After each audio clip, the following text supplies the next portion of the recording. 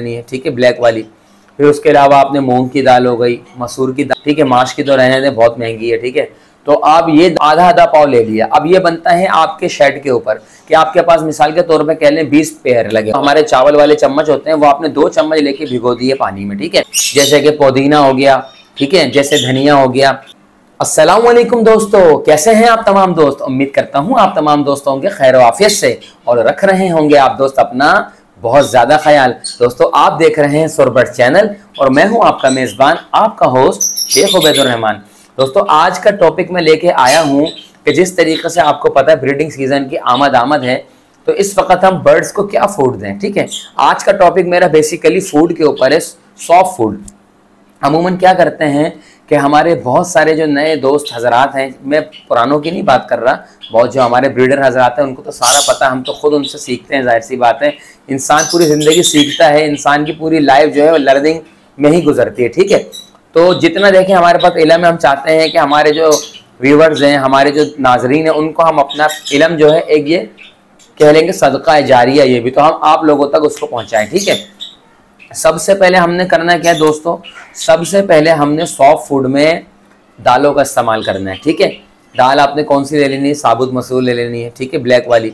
फिर उसके अलावा आपने मूंग की दाल हो गई, मसूर की दाल हो गई, चने की दाल हो गई, ठीक है? माश की तो रहने दें, बहुत महँगी है, ठीक है? तो आप ये दालें तो अगर कोई अफोर्ड कर सकता है तो माश की दाल भी ले लें। अच्छा इसको बनाने का तरीक़ेकार क्या है दोस्तों? कि आपने ज़्यादा नहीं, इनको आधा आधा पाव ले लिया। अब ये बनता है आपके शेड के ऊपर कि आपके पास मिसाल के तौर पे कह लें बीस पेयर लगे हुए ठीक है? तो लवबर्ड भी खाते हैं ये, और ये अगर आपके पास जावा हैं फिंचज हैं, ठीक है? मतलब यानी कि जितने बर्ड्स हैं, वो सारे बर्ड्स जो है, वो यूज़ करते हैं शौक से ना सॉफ्ट फ़ूड तो इसका तरीक़ेकार क्या है कि आपने बीस पेयर की मैं आपको एक रिपोर्ट बना के दे रहा हूँ, ठीक है? आपने जो है मुश्किल से समझ लें कि 50-50 ग्राम ले लें सारी चीज़ें। सही है? यानी कि आधा पाव में कह लें कि हमारा 125 ग्राम बनता है। एक पाव ढाई ग्राम को है दोस्तों। तो आपने 50-50 ग्राम सारी दालें वगैरह सारी ले ली। 20 पेयर की मैं आपको इसमें रिपोर्ट बना के बता रहा हूँ। आपने दालें ले ली और आपने उन सबको कर लिया मिक्स और इसका तरीक़ेकार क्या होगा कि आपने रात को ये कह लें कि दो चमचे जो हमारे चावल वाले चम्मच होते हैं, वो आपने दो चम्मच लेके भिगो दिए पानी में, ठीक है? रात को। सुबह आपने होते उनको दोबारा अच्छी तरीके से धोना है दाल को, ठीक है? उससे तीन चार दफ़ा पानी निकाल के फिर आपने अपने बर्ड्स को वो यूज़ करवा देना, ठीक है? अच्छा इससे आपको फ़ायदा क्या होगा? इससे आपको फ़ायदा ये होगा कि आप, बहुत सारे लोग शिकायत करते हैं, हमारा बर्ड ब्रीड नहीं करता। तो मेरे भाई, ब्रीड कहाँ से करेगा? आप उसकी प्रोटीन का ख्याल नहीं कर रहे, ठीक है? तो दालों में जो है बहुत ज़्यादा प्रोटीन होता है और दालें जो हैं बहुत ज़्यादा फ़ायदेमंद होती हैं और ये सॉफ्ट फ़ूड में बड़ी बेहतरीन होती हैं। ख़ास तौर पे जब इनके चिक्स आ जाते हैं, जब देखें, जब बर्ड ब्रीड पे आता है ना, दालों से क्या होता है? दालों से इनको, एक ब्रीड पे आने का भी जो कह लें कि एक इनको होते हैं दालों से, ठीक है? क्योंकि दालें बेहतरीन सॉफ्ट फ़ूड हैं, और आपको पता है, अल्लाह ताला ने कोई चीज़ बेमकसद तो बनाई नहीं है।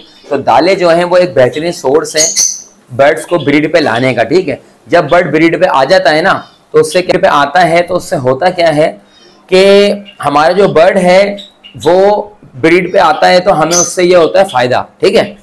जैसे वो ब्रीड पे आएगा तो देखें हम उनको दाना दे रहे हैं, हम उनकी केयर कर रहे हैं। तो हमारा मेन मकसद हर बंदे का ये नहीं होता कि शौक में रखे होते हैं। अब इतनी महँगाई है कि लोगों ने कारोबारी हवाले से रखे हुए बट, ठीक है? तो आप इस तरीके से उनको दे सकते हैं, इससे वो ब्रीड पे भी आते हैं। और जब खास तौर पर उनके चिक्स आए तो आप उनको बेखसूस ये सॉफ्ट फ़ूड लाजमी दें। इससे उनके चिक हेल्दी होंगे और जल्दी उनके चिक बड़े होंगे, ठीक है? तो आप उसको ज़ाहिर सी बात है, जल्दी वो जब बड़े होंगे तो आसानी से आप उनको मार्केट में सेल आउट करके अपने एक अच्छा सा मुनाफा जनरेट कर सकेंगे दोस्तों। ठीक है? इसके अलावा सॉफ्ट फ़ूड में आप उनको जो है सब्ज़ियाँ दे सकते हैं, जैसे कि पुदीना हो गया, ठीक है? जैसे धनिया हो गया, जैसे पालक हो गई, जैसे कि कह लें कि मेथी हो गई, जैसे आप कह लें कि सरसों हो गया।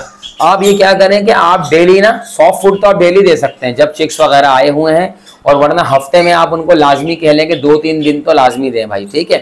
ताकि उससे क्या होता है कि बर्ड्स की जो कह लें कि जो बोन होती हैं, वो एक्टिव होती हैं, हड्डियाँ वगैरह, ठीक है? तो बर्ड जो है वो बेहतरीन कह लें कि ब्रीड पे आता है। सही है? ये मेरा अपना पर्सनल तजुर्बा है पर्सनल एक्सपीरियंस इसलिए मैं आपसे शेयर कर रहा हूँ दोस्तों। अच्छा इसके अलावा आपने सब्ज़ियाँ वगैरह दे दी, ठीक है? सब्जियों के अलावा आपने उसके अलावा इनको एक फ़ूड का खास ख्याल करना है। एक फ़ूड पे मैं इंशाल्लाह एक अलग से वीडियो बनाऊँगा कि एक फ़ूड के क्या फ़ायदे हैं, क्योंकि ऐसे वीडियो की लेंथ बहुत लंबी हो जाती है तो बहुत सारे लोग हमारे कहते हैं, यार भाई, आप बहुत लंबी वीडियो बना लेते हैं यार। तो देखते बंदे था आपको पता है लोगों के पास, भाई टाइम नहीं, आजकल लोग बोर हो जाते हैं। ठीक है? हर कोई हमारे इतना फारिग नहीं है कि आपके लिए इतनी मेहनत से वीडियो बनाए, अपने दोस्तों को जो है उसमें शेयर करे, ठीक है दोस्तों? तो आपने इस तरीके से अपने बर्ड की केयर करनी है। उम्मीद करता हूँ कि आपको मेरी सॉफ्ट फ़ूड के ऊपर वीडियो बनाई भी बहुत अच्छी लगी होगी। तो इसी तरीके से आपको डेली व डेली रूटीन वाइज आपको वीडियोस इंशाल्लाह ब्रीडिंग सीज़न अब आने वाला है, आपको मिलती रहेंगी। तो भाई चैनल को आप कर लें सब्सक्राइब और वीडियो को कर दें आप लाइक और एक अच्छा सा कमेंट कर दें ताकि हमें आपकी राय का मालूम हो सके कि हमारे जो देखने वाले व्यूवर्स हैं, उनको हमारी वीडियो से वो कितने मुस्तफ़ हो रहे हैं। ठीक है इन आपका भाई आपको रिप्लाई लाजमी करेगा। अब लेता हूँ मैं आपसे इजाज़त। इसी दुआ के साथ कि आप रखेंगे अपना बहुत सारा ख्याल। अल्लाह निगहबान